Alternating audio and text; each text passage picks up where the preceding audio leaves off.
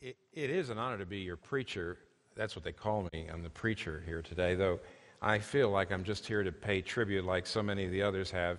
I think they just give me the permission to go on a little longer in doing that. And besides that, no American can really say John Stott properly.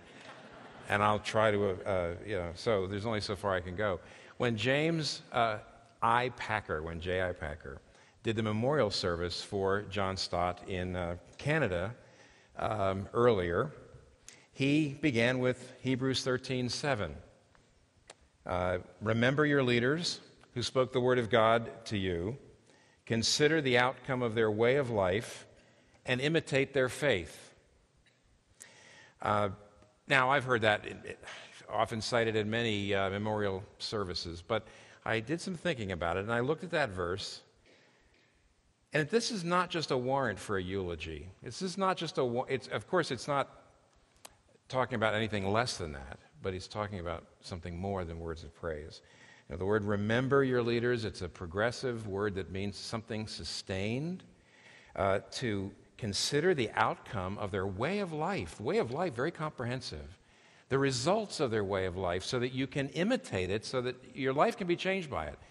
And a couple of months ago, when I was given the honor of, of this invitation, I started deciding I needed to re examine my life in light of John Stott, who spoke the Word of God to me. I became a Christian as a college student in the late, in the late 1960s.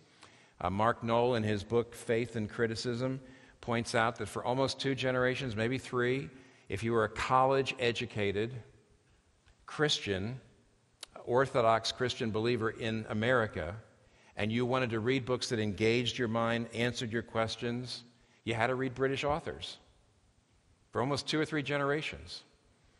And for, at the top of the, my list was John Stott. And his book, Basic Christianity, had a profound formative influence on me. Uh, he, he truly was, in some ways, the first person that spoke the Word of God to me, at least through his literature, and I also heard him in person. Uh, and therefore, I said, I need, to, I need to rethink. I need to do what, what, what Hebrews 13 7 says I should do. I need to rethink my life in light of the results of his life. So I read six volumes on his life in the last two months, and I'd like to give you five findings. Uh, these are things that I believe are outcomes of his life, results of his life that should change our lives. And even though I can see, because I, you know, I'm white haired and I see an awful lot of the rest of you are white and gray haired today, but I really hope the younger evangelical leaders would, would do the same thing, would remember him, would, would study the outcomes of his life, particularly in these five ways, and let their lives be changed by them. Here are the five things five, the five findings. First of all, we need to be convicted by his kingdom vision. We've got to be convicted by his kingdom vision. When J.I. Packer spoke on this subject, he called it uh, John Stott's zeal for the kingdom. Uh, and, and Packer actually said John Stott's entire life was an effort to banish apathy. Now, you could call him a man of vision. If you're a Tolkien geek like me, there you know there's one place where Gandalf is described in a particular way. And by the way, I, don't, I won't take it down that path, but to think about John Stott as Gandalf actually could be fruitful. I'm not going to take you down that path. But at one point, this is what is said in the book about him. He was not just a lore master, but a great mover in the deeds of our time. See, most of us, we're lore masters, that means preachers, teachers. John Stott was not satisfied with doing that. He was not just a lore master. He wanted to do something world historical for Jesus. Uh, I, everything I've read, everything I've known, by all accounts, John Stott's motives were about as pure as a human being's motives can be, which means not perfectly pure. But he did not want ambition. He, he was not an ambitious man for his own glory. He did not want power. I mean, it's obvious. He did not want status. He did not want wealth. He gave it away. But there was something driving him. He was probably the greatest student evangelist of his generation, but he did not see the same kind of conversions after the early and mid 1950s anywhere. In fact, nobody did. A lot of conversions in the 1950s, and then they kind of, uh, to those university missions, then they kind of trailed off. He, he filled All Souls. It was the most successful um, senior minister in, in, in Britain. And he took this church, this ordinary C of E parish, and filled it twice, morning and evening. And he did it through uh, terrific evangelism. And yet, we know, if you read Our Guilty Silence, his book about evangelism that he wrote by the late 60s, he was willing to say, We haven't really reached our parish. He really wanted to reach the parish, the 10,000 people inside his parochial bounds.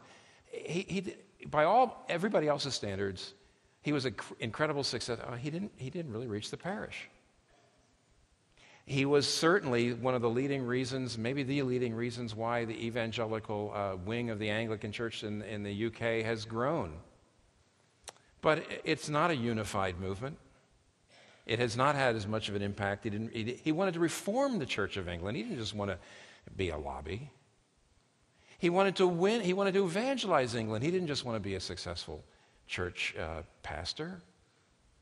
And I would say, even though it's the one area of his life I actually know the least about, that when it came to his global ministry, which John Stott Ministries and Langham Partners uh, represents, finally, after all the other efforts that he made to really do something world historical, do something game changing for Christ.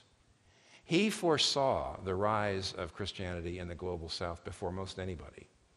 And he got out there and he saw the need for training, and his ministry, I think, has been a game changer. Here's, but here's my point most of the rest of us are, would be very happy being told you're the best.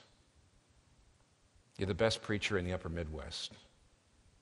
You know, you're the best this, you're the best that. He just didn't care about that. He wanted to change the world for Christ. And, you know, I, I, think over the years, I've gotten a little cynical about people that use that little phrase, do something so big, that uh, attempt something so big that it will fail unless God is in it. And I've heard so many people use that to raise money for their building program. that at a, certain, at a certain point, I started to say, yeah, yeah, yeah. And then I, I considered the outcome of his life. And I looked at his motives and I looked at, at, at, his labors and how he spent himself and how he gave himself. Why wasn't he ever satisfied? It really was not worldly ambition. He really wanted to change the world for Christ. He wanted to do something world historical. We should be convicted by that vision.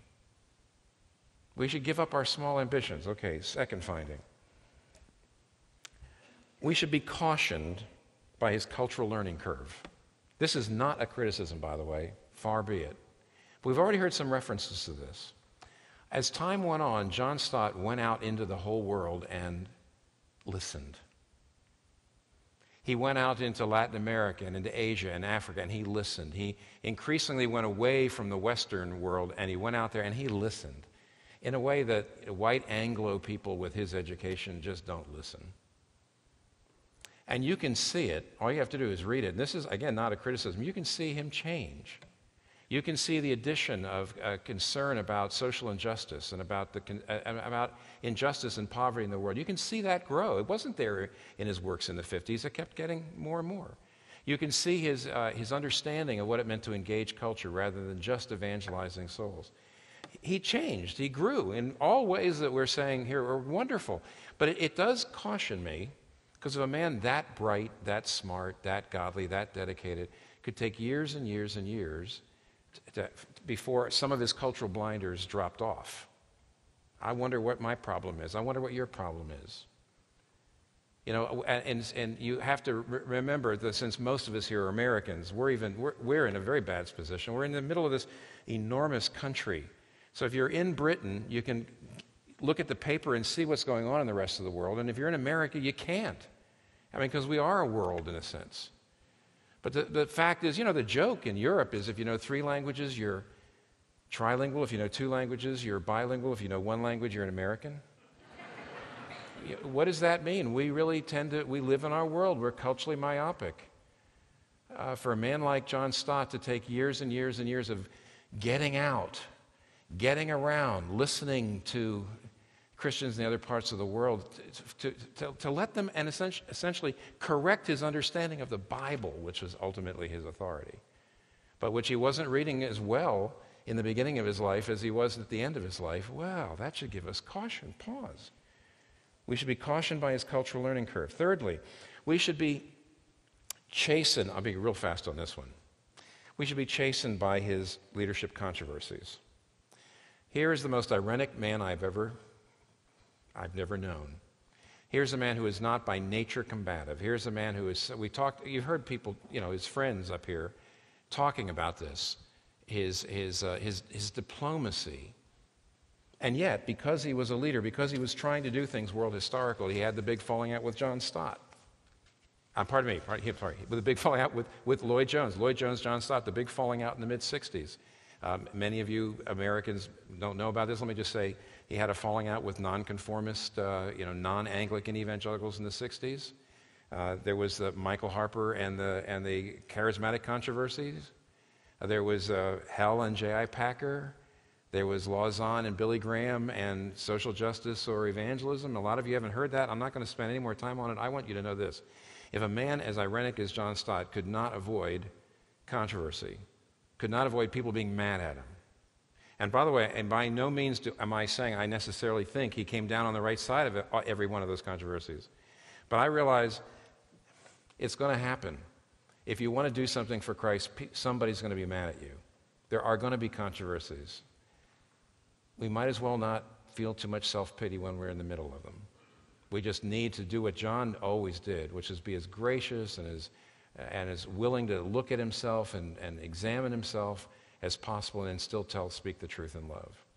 Fourth, so that's convicted by his kingdom vision, caution, for those of you taking notes, I don't know why you would, caution by his cultural learning curve, chastened by his leadership controversies. Now, here's what I like to dwell for a second especially for younger evangelical leaders. We need to be instructed by his great innovations. And let me give you what I mean, what I mean by those innovations.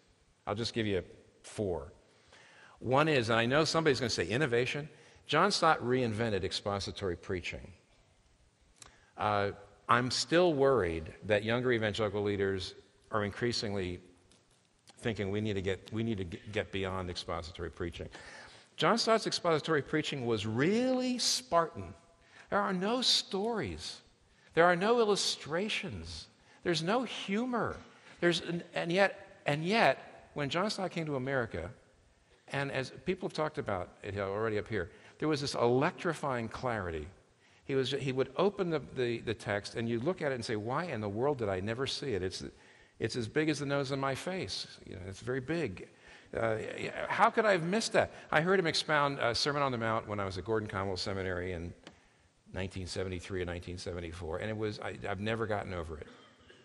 Because there was none of, there was no, how do I say, there were no, there were no training wheels. There was no, there was no humor. There was no emphasis, there was no appeal to the emotions. There was no tear jerking. There was, it was just, I'm going to tell you what the text says, and it was electrifying because it was so authoritative, because it was so clear.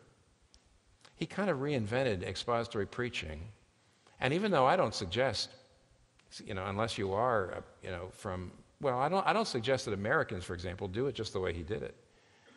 But I, I, we would be stupid if we moved away from it because we think we need to get past it, because we need to get to the heart or something like that. John Stott got to the heart, and he was the most rational expository preacher I've ever heard because he was so good at opening the Word of God, which doesn't, you don't need to make it relevant, as people have said for years. It is, it's alive and it's active. It's a two-edged sword.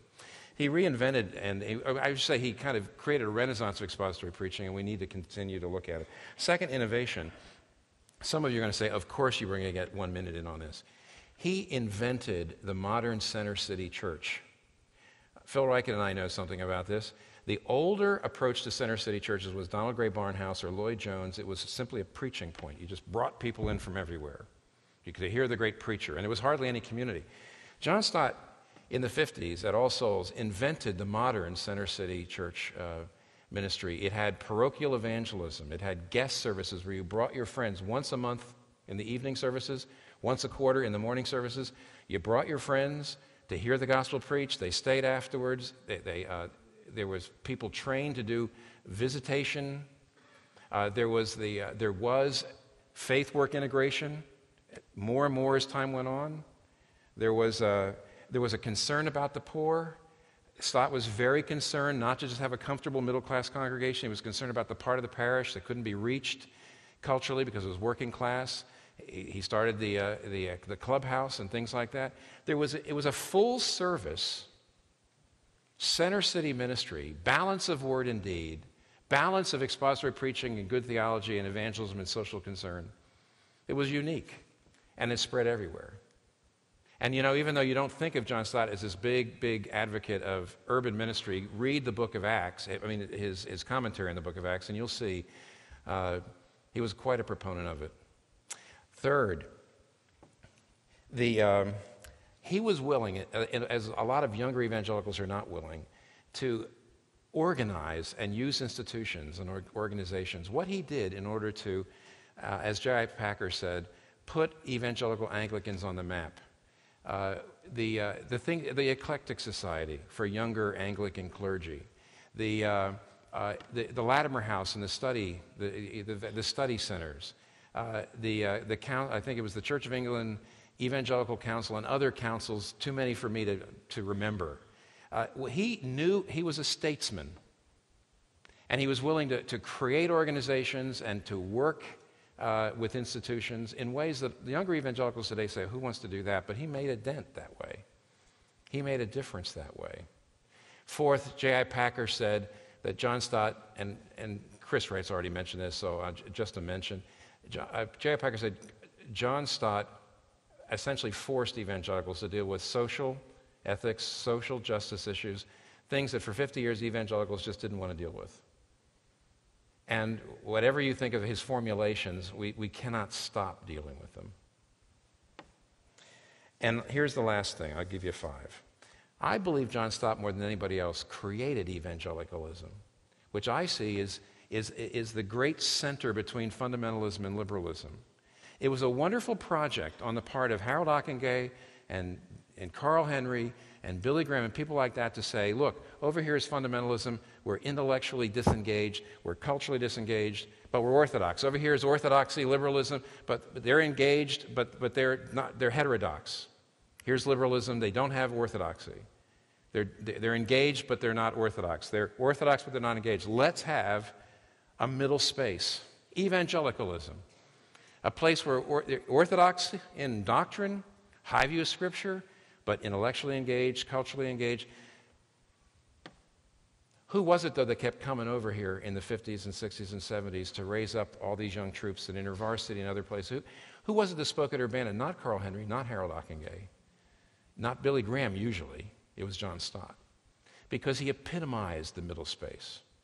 He epitomized uh, absolutely rock rib uh, commitment to the authority of the Scripture and at the same time being utterly abreast of scholarship, absolutely involved, and yet at the same time accessible, bringing the scholarship down where it was accessible. He was the perfect creator of this middle space, which is, at least for the last 30 or 40 years, this has been the part of Christianity in the world that's grown the most. Not fundamentalism, not liberalism, that space. He was prophetic from the center, and you can read it in The Cross of Christ, his book, his masterpiece. Absolutely uh, firm on traditional substitutionary atonement, penal substitution, and yet he takes the implications of it and brings it to social justice and brings it to community. He's prophetic from the center, doesn't have to re engineer traditional evangelical doctrine, but he engages with it. We can't forget these things. It worries me. An awful lot of younger evangelical leaders I know barely know what John Stott stood for. Here's one last thing. I'm done. The last thing I'd like you to do today is not just be convicted in these ways and instructed in these ways. I want you to be empowered by the knowledge of his present glory. We, we need to learn how to get joy and power from the knowledge of the people that we love who have passed away and know what they're like right now. Do you get any power from that? Do you get any comfort from that? You should. You know, that place in the Tolkien, the Lord of the Rings, where Gandalf is described as, as being dead, he really wasn't dead.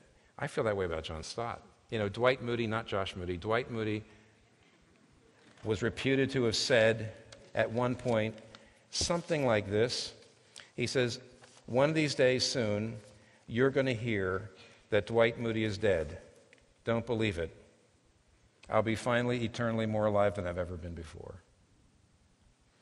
C.S. Lewis says at one point, He can make us, the feeblest and filthiest of us, if we let Him, into such dazzling, radiant, immortal creatures, pulsating all through with such energy and joy and wisdom and love as we cannot now imagine.